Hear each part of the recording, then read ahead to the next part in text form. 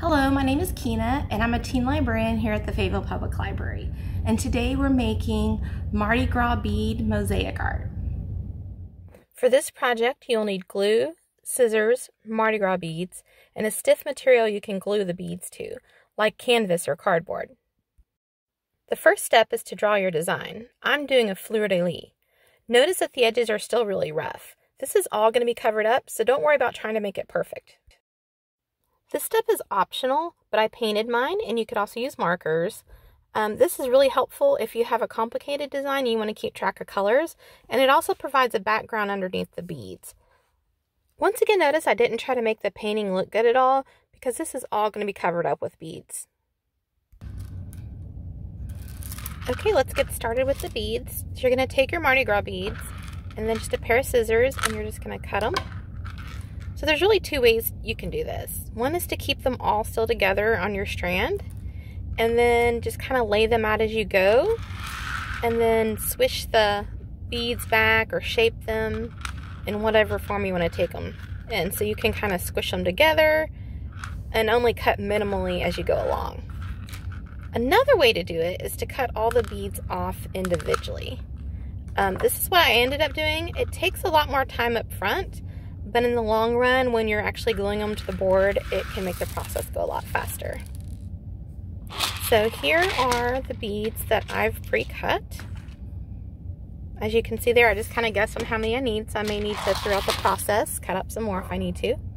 And then we're just going to take the glue and we're going to spread it on the board where we're going to glue our beads. And you want it to do small spaces because the glue can dry up before you get to it if you try to do the whole board at once. So just choose little sections to do it in.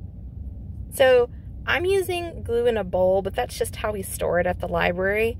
Um, but you can just squeeze it straight from the bottle if you like.